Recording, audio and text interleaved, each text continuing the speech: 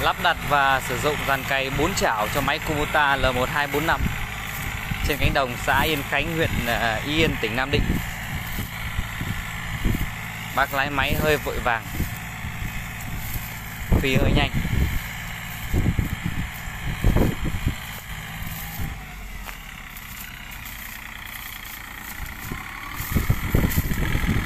Ổn chưa chú? Chú ơi, ok chưa?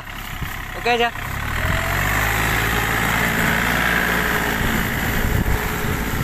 Trời. Toàn đóng số to đi các bác. Bác này bác ấy chạy Đi bình tĩnh thôi. Ui giời.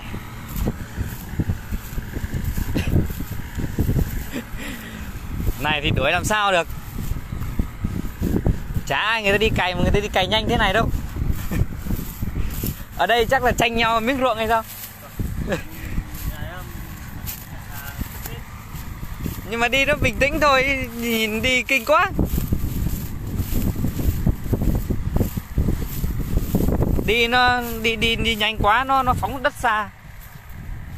Nhìn đằng sau, đất nó cứ như kiểu là nó đang nhảy theo điệu nhạc ấy.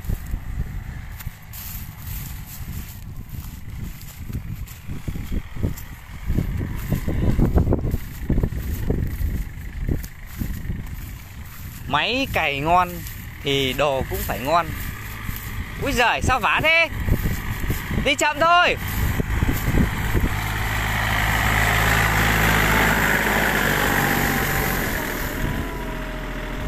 Vả thế?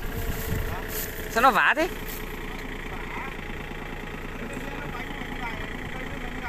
Chú đi chú đi chậm chậm, bình tĩnh thôi, Nâng cày lên. Cho chỉnh lại cái góc lái tí đã. Chú đi nhanh thế, đất nó hót xa.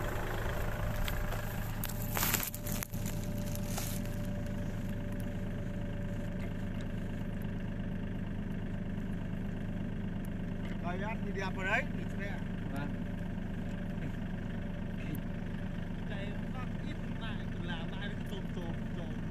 Cái chảo này nó còn mới nó còn chưa sắc đâu. Vậy là nó đào đất rồi.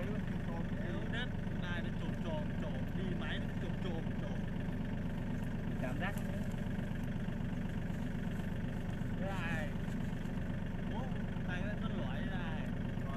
Đây là cái đường cày đầu đấy Đường cày đầu khi cái đường cày thứ hai, chú phải đi, nó bình tĩnh thôi, Trèo lên một nửa của cái đường cày đầu.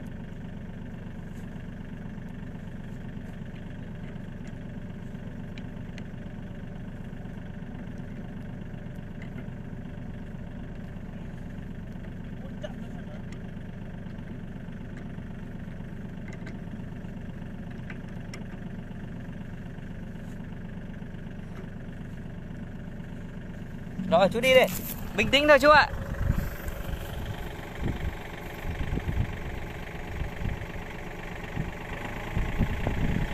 Lại biết thủy lục chưa?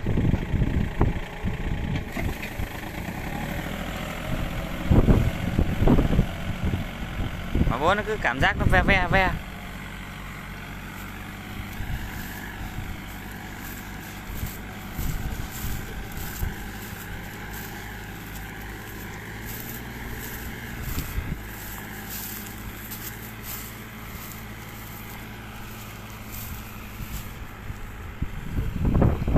Cày như thế là quá ok rồi các bác.